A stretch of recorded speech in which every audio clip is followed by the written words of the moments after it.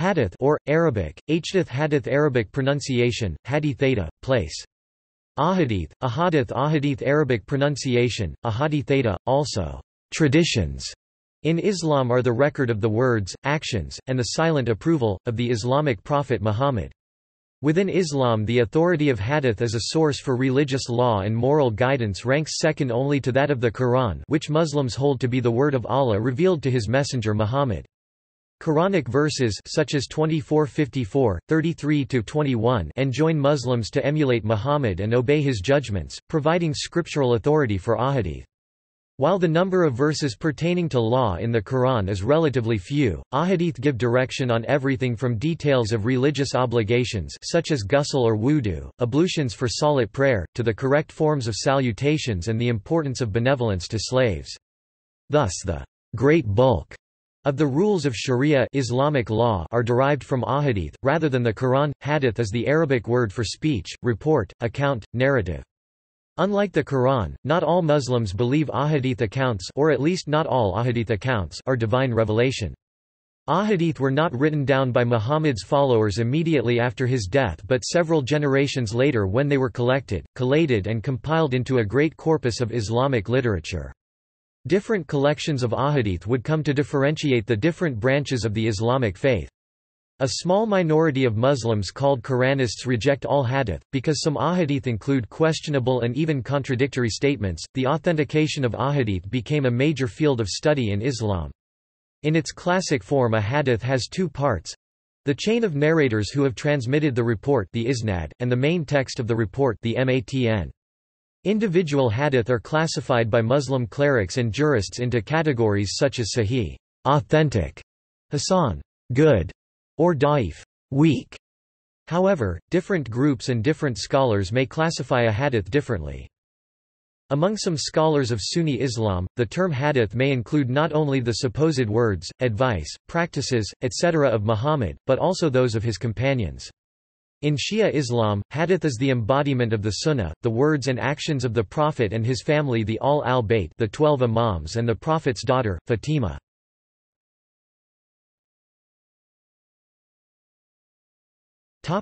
Etymology In Arabic, the noun hadith ipa, ash means report, account, or narrative. Its Arabic plural is ahadith ahadith ash ash d theta. Hadith also refers to the speech of a person.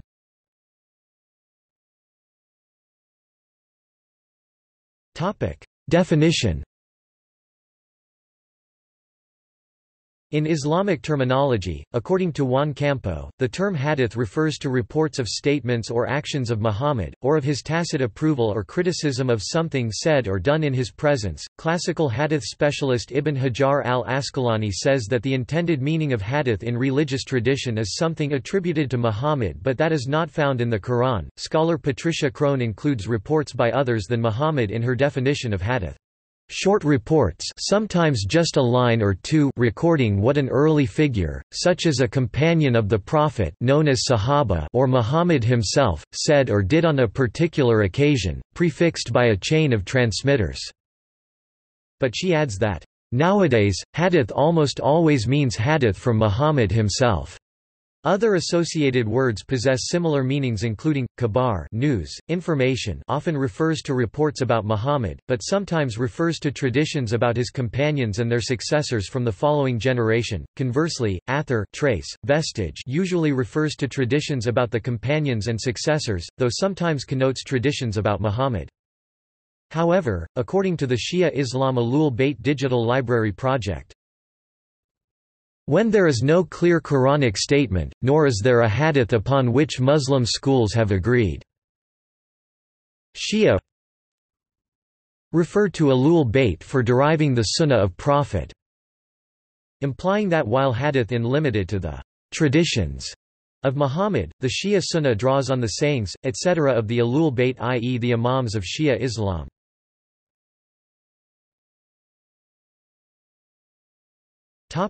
Distinction with sunnah The word sunnah custom or all the traditions and practices of the Islamic prophet that have become models to be followed by Muslims is also used in reference to a normative custom of Muhammad or the early Muslim community. Joseph Schacht describes hadith as providing the documentation of the Sunnah. Another source, Joseph A. Islam, distinguishes between the two, saying, Whereas the hadith is an oral communication that is allegedly derived from the Prophet or his teachings, the sunnah quite literally, mode of life, behavior or example signifies the prevailing customs of a particular community or people. A sunnah is a practice which has been passed on by a community from generation to generation en masse, whereas the ahadith are reports collected by later compilers often centuries removed from the source. A practice which is contained within the hadith may well be regarded as sunnah, but it is not necessary that a sunnah would have a supporting hadith sanctioning it.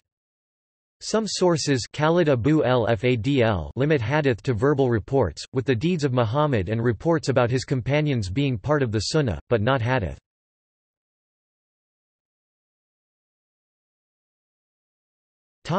Non-prophetic hadith Joseph Schacht quotes a hadith by Muhammad that is used to justify reference in Islamic law to companions of Muhammad as religious authorities.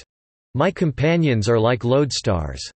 According to Schacht, and other scholars in the very first generations after the death of Muhammad, use of hadith from Sahaba companions of Muhammad and tabi'un successors of the companions was the rule, while use of hadith of Muhammad himself by Muslims was the exception. Schacht credits al-Shafi'i founder of the Shafi'i school of fiqh or madhab, with establishing the principle of the use of the ahadith of the Muhammad for Islamic law, and emphasizing the inferiority of hadith of anyone else, saying ahadith from other persons are of no account in the face of a tradition from the Prophet, whether they confirm or contradict it. If the other persons had been aware of the tradition from the Prophet, they would have followed it. This led to the almost complete neglect of traditions from companions and others, collections of ahadith sometimes mix those of Muhammad with the reports of others. Muwatta Imam Malik is usually described as the earliest written collection of hadith but sayings of Muhammad are blended with the sayings of the companions, 822 hadith from Muhammad and 898 from others, according to the count of one edition. In Introduction to Hadith by Abd al-Hadi al-Fadli, Kitab Ali is referred to as the first hadith book of the Al al-Bayt family of Muhammad to be written on the authority of the Prophet.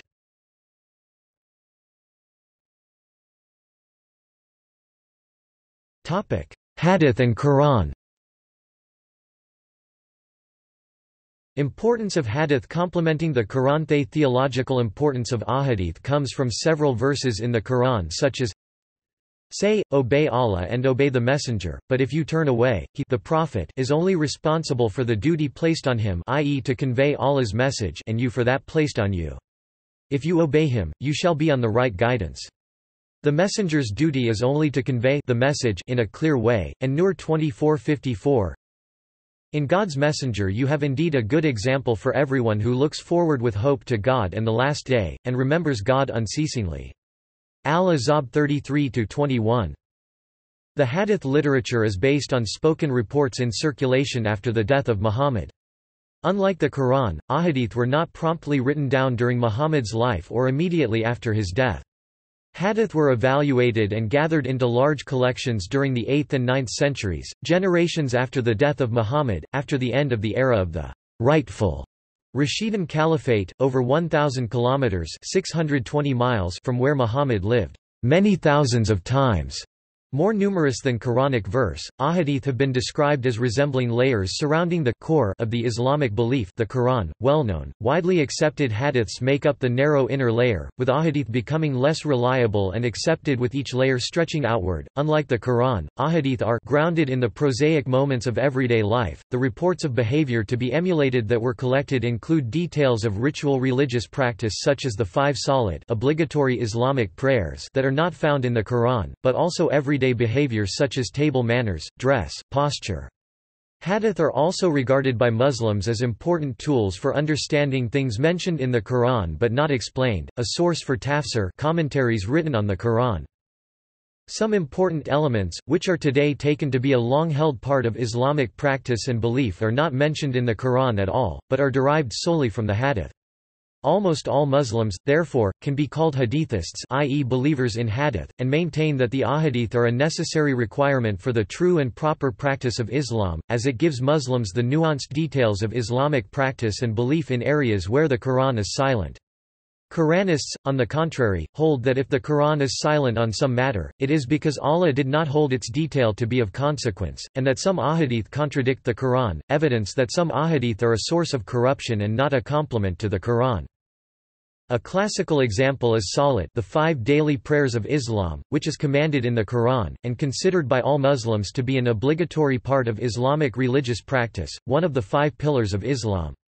Details of prescribed movements and words of the prayer known as rakat and how many times they are to be performed, are found in ahadith, demonstrating to hadithists that ahadith validly fulfill the Quranic command of ritual prayer.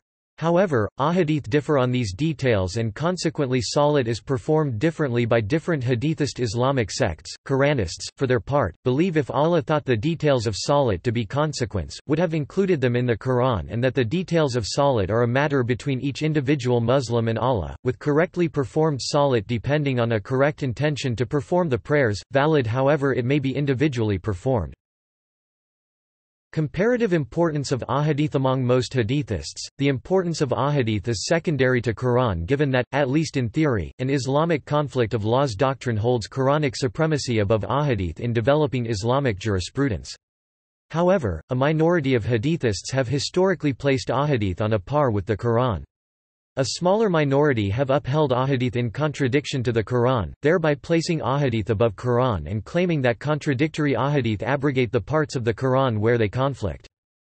It has been narrated through a chain of narrators, including Muhammad ibn Ismail and originating with Imam Jafar al-Sadiq, that the Prophet Muhammad once addressed his people in Mina saying, O people, whatever comes to you in the form of my hadith, if it agrees with the Holy Book of Allah, it is genuine, but whatever comes to you that does not agree with the Book of Allah you must know that I have not said it.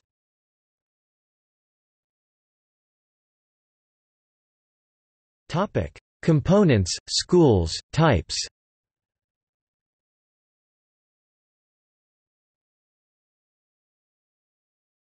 Topic: Impact. The hadith had a profound and controversial influence on tafsir commentaries of the Quran. The earliest commentary of the Quran known as Tafsir ibn Abbas is sometimes attributed to the companion Ibn Abbas. The hadith were used in forming the basis of sharia the religious law system forming part of the Islamic tradition, and fiqh Islamic jurisprudence. The hadith are at the root of why there is no single fiqh system, but rather a collection of parallel systems within Islam. Much of early Islamic history available today is also based on the hadith, although it has been challenged for its lack of basis in primary source material and the internal contradictions of the secondary material available. Types Hadith may be hadith qudsi sacred hadith, which some Muslims regard as the words of God Arabic, Allah, or hadith sharif noble hadith, which are Muhammad's own utterances. According to as Sayyid Ash Sharif al-Jurjani, the hadith qudsi differ from the Quran in that the former are expressed in Muhammad's words, whereas the latter are the direct words of God. A hadith qudsi need not be a sahih sound hadith, but may be da'if or even mawdu. An example of a hadith qudsi is the hadith of Abu Huraira who said that Muhammad said, When God decreed the creation he pledged himself by writing in his book which is laid down with him, My mercy prevails over my wrath. In the Shia school of thought, there are two fundamental viewpoints of hadith, the Akhbari view and the Usuli view. The Usuli scholars stress the importance of scientific examination of ahadith using ijtihad while the Akhbari scholars take all ahadith from the four Shia books as authentic.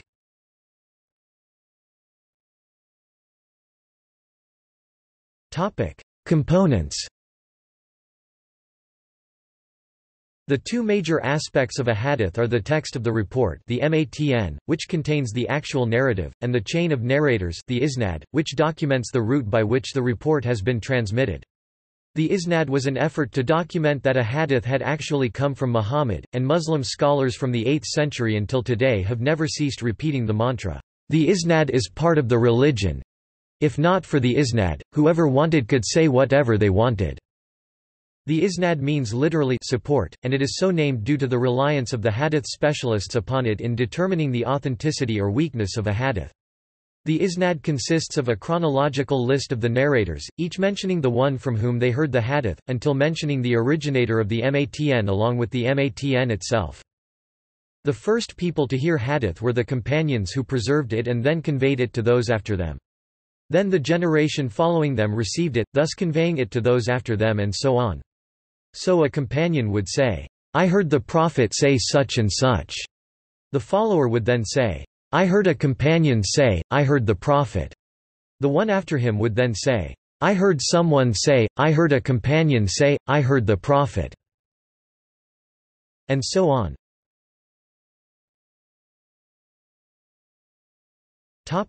Different schools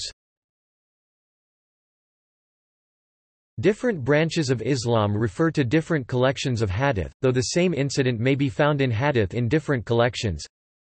In the Sunni branch of Islam, the canonical hadith collections are the six books, of which Sahih al-Bukhari and Sahih Muslim generally have the highest status. The other books of hadith are Sunan Abu Dawood, Jami at Tirmidhi, Al-Sunan al-Sugra and Sunan ibn Majah. However the Malikis, one of the four Sunni schools of thought, Madhabs, traditionally reject Sunan ibn Majah and assert the canonical status of Muwatta Imam Malik. In the Twelver Shia branch of Islam, the canonical hadith collections are the four books, Kitab al-Kafi, Man la Yadaruhu al-Faqih, Tahdhib al-Ahkam, and al-Istibsar. In the Ibadi branch of Islam, the main canonical collection is the Tartib al-Musnad. This is an expansion of the earlier Jami Sahih collection, which retains canonical status in its own right. The Ismaili Shia sects use the Dame al-Islam as hadith collections. The Ahmadiyya sect generally rely on the Sunni canons. Some minor groups, collectively known as Quranists, reject the authority of the Hadith collections altogether. In general, the difference between Shia and Sunni collections is that Shia give preference to ahadith credited to the Prophet's family and close associates al al-Bayt, while Sunnis do not consider family lineage in evaluating ahadith and sunnah narrated by any of 12,000 companions of Muhammad.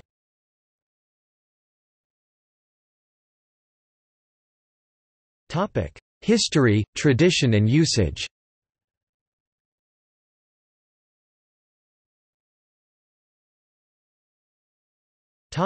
History Traditions of the life of Muhammad and the early history of Islam were passed down mostly orally for more than a hundred years after Muhammad's death in AD 632. Muslim historians say that Caliph Uthman ibn Affan the third Khalifa caliph of the Rashidun Caliphate, or third successor of Muhammad, who had formerly been Muhammad's secretary, is generally believed to urge Muslims to record the hadith just as Muhammad suggested to some of his followers to write down his words and actions. Uthman's labors were cut short by his assassination, at the hands of aggrieved soldiers, in 656. No sources survive directly from this period so we are dependent on what later writers tell us about this period. According to British historian of Arab world Alfred Guillaume, it is certain that several small collections of hadith were assembled in Umayyad times. In Islamic law, the use of hadith is now understood hadith of Muhammad with documentation, isnads, etc. came gradually. According to scholars such as Joseph Schacht, Ignaz Goldziher, and Daniel W. Brown, early schools of Islamic jurisprudence used rulings of the Prophet's companions, the rulings of the caliphs, and practices that had gained general acceptance among the jurists of that school. On his deathbed, Caliph Umar instructed Muslims to seek guidance from the Quran. The early Muslims who emigrated to Medina with Muhammad, the Medina residents who welcomed and supported the Muhajirun the Ansar, the people of the desert, and the protected communities of Jews and Christians all al-Dhimma. But did not mention Muhammad according to scholars Harald Motzki and Daniel W. Brown. The earliest Islamic legal reasonings that have come down to us were virtually hadith-free but gradually, over the course of 2nd century AH, the infiltration and incorporation of prophetic ahadith into Islamic jurisprudence took place, it was Abu Abdullah Muhammad ibn Idris al-Shafi 150 ah, known as al-Shafi'i who emphasized the final authority of a hadith of Muhammad, so that even the Quran was to be interpreted in the light of traditions i.e. hadith, and not vice versa. While traditionally the Quran is considered above the Sunnah in authority, al-Shafi'i forcefully argued that the Sunnah stands on equal footing with the Quran. According to scholar Daniel Brown for as al-Shafi'i put it the command of the Prophet is the command of God, in 851 the rationalist Mu'tazila school of thought fell from favor in the Abbasid Caliphate. The Mu'tazila, for whom the judge of truth was human reason, had clashed with traditionists who looked to the literal meaning of the Quran and Hadith for truth. While the Quran had been officially compiled and approved, Hadiths had not. One result was the number of hadiths began multiplying in suspiciously direct correlation to their utility. To the quoter of the hadith traditionists quoted hadith warning against listening to human opinion instead of sharia, Hanafites quoted a hadith stating that, "...in my community there will rise a man called Abu Hanifa the Hanafite founder who will be its guiding light." In fact one agreed upon hadith warned that, there will be forgers, liars who will bring you hadiths which neither you nor your forefathers have heard, beware of them." In addition the number of hadith grew enormously. While Malik ibn Anas had attributed just 1720 statements or deeds to the Muhammad, it was no longer unusual to find people who had collected a hundred times that number of hadith. Faced with a huge corpus of miscellaneous traditions supported differing views on a variety of controversial matters—some of them flatly contradicting each other, Islamic scholars of the Abbasid sought to authenticate hadith. Scholars had to decide which hadith were to be trusted as authentic and which had been invented for political or theological purposes. To do this, they used a number of techniques which Muslims now call the science of hadith.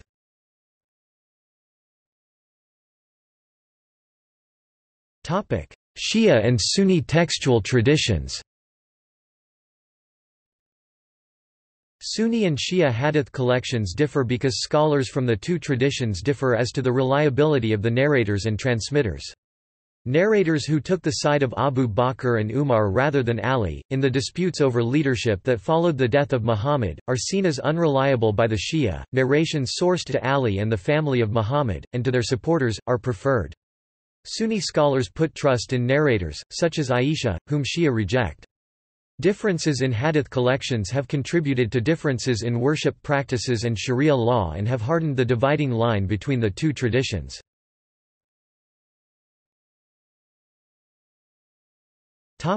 Extent and nature in the Sunni tradition In the Sunni tradition, the number of such texts is somewhere between 7 and 13,000, but the number of ahadith is far greater because several isnad sharing the same text are each counted as individual ahadith. If, say, ten companions record a text reporting a single incident in the life of Muhammad, hadith scholars can count this as ten hadiths. So Musnad Ahmad, for example, has over 30,000 hadiths, but this count includes texts that are repeated in order to record slight variations within the text or within the chains of narrations.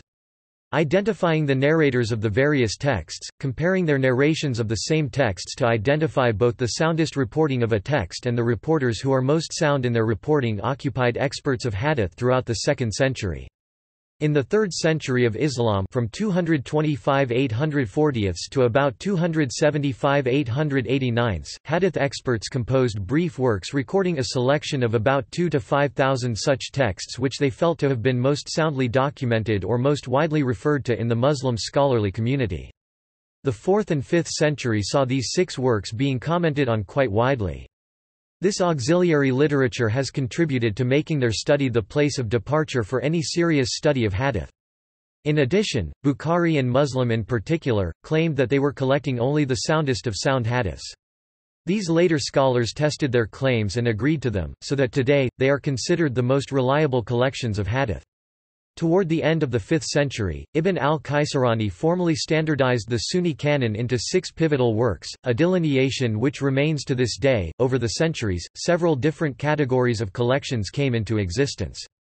Some are more general, like the Musannaf, the Mu-Jam, and the Jami, and some more specific, either characterized by the topics treated, like the Sunan restricted to legal liturgical traditions, or by its composition, like the Arba Inayat collections of 40 hadiths.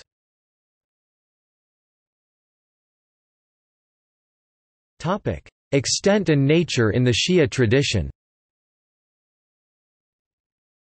Shia Muslims hardly ever use the six major hadith collections followed by the Sunni, as they never usually trust many of the Sunni narrators and transmitters. They have their own extensive hadith literature. The best-known hadith collections are the four books, which were compiled by three authors who are known as the Three Muhammads. The four books are, Kitab al-Kafi by Muhammad ibn Yaqub al-Kulaini al-Razi 329 a, Man la Yadaruhu al-Faqih by Muhammad ibn Babuya and al-Tahdhib and al-Istibsar both by Sheikh Muhammad Tusi. Shia clerics also make use of extensive collections and commentaries by later authors. Unlike Sunnis, the majority of Shia do not consider any of their hadith collections to be sahih authentic in their entirety. Therefore, every individual hadith in a specific collection must be investigated separately to determine its authenticity. However, the Akhbari school does take all hadith from the four books as authentic.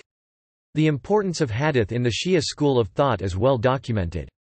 This can be captured by Ali ibn Abi Talib, cousin of Muhammad, when he narrated that Whoever of our Shia followers knows our Sharia and takes out the weak of our followers from the darkness of ignorance to the light of knowledge hadith which we all al have gifted to them, he on the day of judgment will come with a crown on his head. It will shine among the people gathered on the plain of resurrection. Hassan al-Askari, a descendant of Muhammad, gave support to this narration, stating, Whoever he had taken out in the worldly life from the darkness of ignorance can hold to his light to be taken out of the darkness of the plain of resurrection to the garden paradise. Then all those whomever he had taught in the worldly life anything of goodness, or had opened from his heart a lock of ignorance or had removed his doubts will come out." Regarding the importance of maintaining accuracy in recording hadith, it has been documented that Muhammad al-Baqir, the great-grandson of Muhammad, has said that Holding back in a doubtful issue is better than entering destruction. You're not narrating a hadith is better than you narrating a hadith in which you have not studied thoroughly. On every truth, there is a reality. Above every right thing, there is a light. Whatever agrees with the Book of Allah you must take it and whatever disagrees you must leave it alone. Al-Baqir also emphasized the selfless devotion of all al-Bayt to preserving the traditions of the Islamic prophet through his conversation with Jabir ibn Abd Allah, an old companion of Muhammad. He al-Baqir said, O Jabir, had we spoken to you from our opinions and desires, we would be counted among those who are destroyed. We speak to you of the ahadith which we treasure from the Messenger of Allah, O Allah grant compensation to Muhammad and his family worthy of their services to your cause, just as they treasure their gold and silver." Further, it has been narrated that Ja'far al-Sadiq, the son of al-Baqir, has said the following regarding hadith, you must write it down, you will not memorize until you write it down.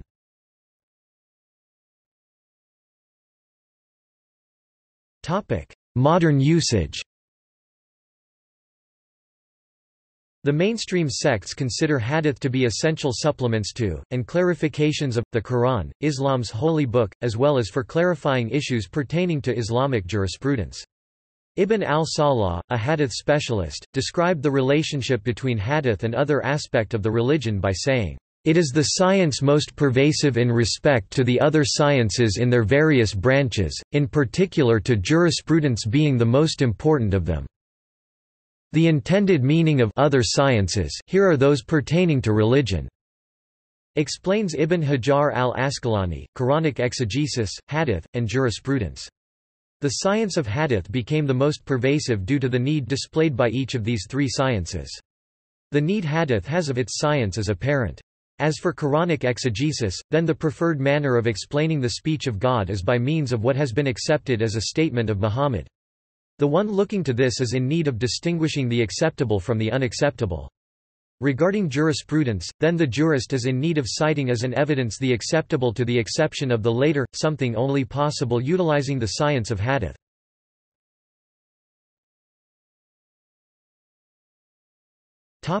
Studies According to Bernard Lewis, in the early Islamic centuries there could be no better way of promoting a cause, an opinion, or a faction than to cite an appropriate action or utterance of the Prophet. To fight these forgeries, the elaborate science of hadith studies was devised. Hadith studies use a number of methods of evaluation developed by early Muslim scholars in determining the veracity of reports attributed to Muhammad. This is achieved by analyzing the text of the report, the scale of the report's transmission, the routes through which the report was transmitted, and the individual narrators involved in its transmission. On the basis of these criteria, various classifications were devised for hadith. The earliest comprehensive work in hadith studies was Abu Muhammad al-Ramahormuzi's al-Muhaddith al-Fasil, while another significant work was al-Hakim al-Naysaburi's Marifat Ulum al-Hadith.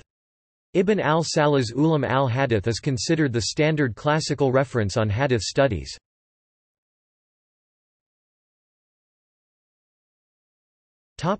Terminology, admissible and inadmissible hadiths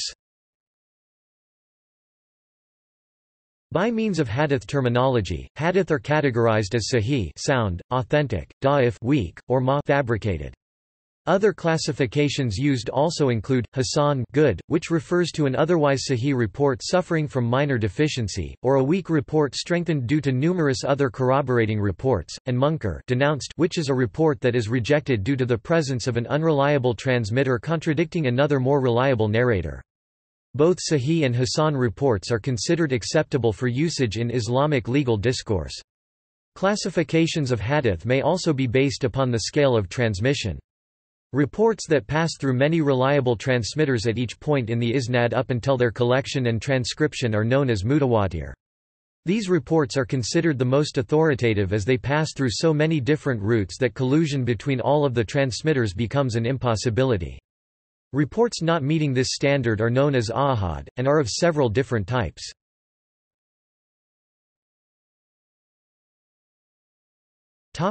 Biographical evaluation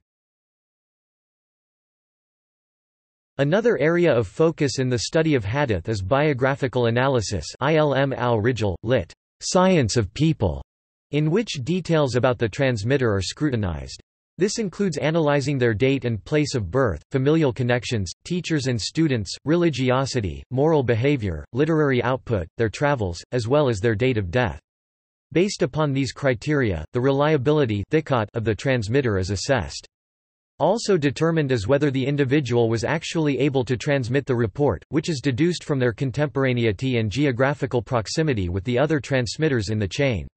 Examples of biographical dictionaries include, Abd al-Ghani al-Maqdisi's al-Kamal fi Asma al-Rijal, Ibn Hajar al-Asqalani's Tahdhib al-Tahdhib and al-Dhahabi's Tadhkirat al-Hufaz.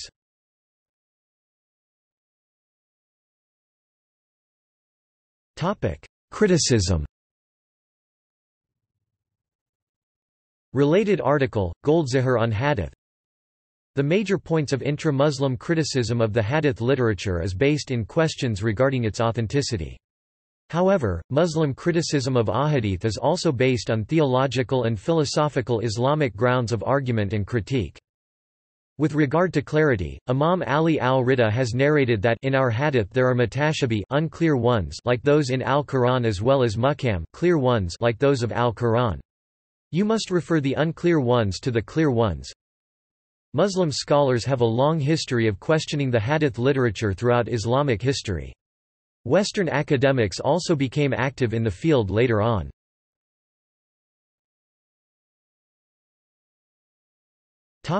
See also.